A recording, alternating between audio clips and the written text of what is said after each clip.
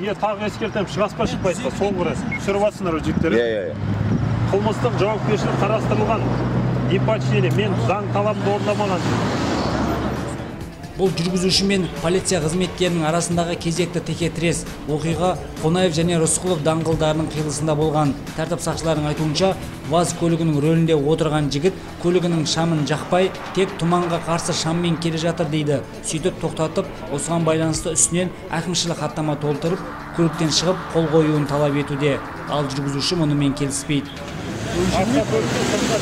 Талап етіп жатырмын шықпаймын шықпайсыз ба? Мен жатырмын. автокөліктен шығарып алып непочтение толтырған соңғы рет ескертемін сізге. Жүргізуші 102 нөміріне қоңырау шалып полиция қызметкерлерінің үстінен телефонмен шағымдануда. Ал тәртіп сақшысы оқиға орнына прокурорды шақырды. Ақыр соңында жүргізуші көліктен шығып хаттамаға келіспейтінін жазып қолын қойды.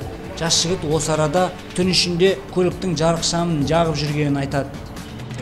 Жерге жазыңыз фараны жанып тұрды ма жанып тұрған жоқ па жанып тұрды жанып тұрды ма бәрі мен жанып түнде тұрды парасы жүрмеймін ақыры хаттамаға қол қойған соң жүргізуші өз жолымен кетті Lan alasan.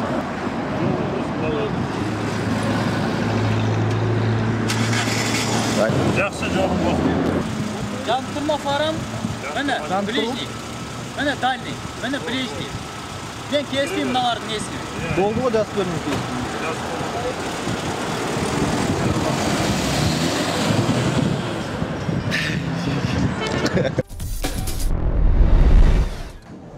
шымкентте кезекті жол апаты тіркеліп үш адам зардап шекті. Оқиға бәйдібек би даңғылының бойында қайтпас бір шағын ауданына бұрылатын жолдың қиылысында болған. Дәл осы көшенің қиылысында лада гранта және ваз 2114 көліктері соғысып қалды. Екі көлік те бәйдібек би даңғылының бойымен келе жатқан. Ваз қаладан шығып бәйдібек би ескерткішіне қарай бет алса лада оған қарсы бағытта келе жатады. Сөйтіп приора көлігінің жүргізушісі қиылыстан қайтпасқа қарай бұрылмақ болады. Осы кезде тіке келген ваз ладаның оң жақ тұмсығынан соққан. Қатты соққының кесірінен ваз көлігінде отырған үш адам жарақат алды. Оларды жедел жәрдем дәрігерлері ауруханаға алып кеткен. Зардап шеккендердің арасында ваз көлігінің жүргізушісі де бар. Бұған қоса екі көлік те едәуір материалдық шығынға ұшырады әсіресе ваз көлігінің тұмсығы қатты қирап алдыңғы әйнегі ұшып кеткен. Көліктегі қауіпсіздік жастықшасы іске қосылған. Айта кету керек бұл көшенің қиылысына осы жазда бағдаршам қойылған болатын. Жол қозғалысын реттейтін құрал жұмыс істеп тұр. Енді қай жүргізушінің кінәлі екенін полиция қызметкерлері анықтайтын болады. Ал бүлінген көліктерді инспекторлар эвакуатормен ақыл айып тұрағына алып кетті.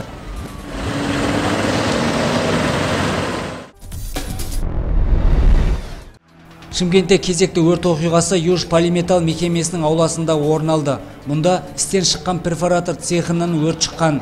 Жалпы көлемі 2100 шаршы метр ғимараттың 70 шаршы метр болатын төбесінің жаппасы жанған. Оқиға орнына 9 өрт техникасы жеке құрамнан 45 адам аттанады. Тілсіз жаумен күрескен өрт сөндірушілер қызыл жалынды 15 минутта өшірсе тағы 15 минуттан кейін қызыл алаудың толық бетін қайтарды. Бұл оқиғадан зардап шеккен адамдар жоқ.